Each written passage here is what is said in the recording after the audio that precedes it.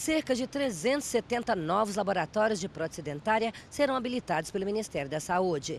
Essas unidades vão confeccionar dentaduras em 425 municípios brasileiros. Para isso, serão repassados mais de 36 milhões de reais. O investimento faz parte do programa Brasil Sorridente e amplia para quase 1.800 o número de laboratórios credenciados. O Ministério da Saúde também está aumentando de 100 para 150 reais por unidade os recursos para a confecção de próteses. Só no ano passado foram confeccionadas no país mais de 413 mil dentaduras. De Brasília, Cleide Lopes.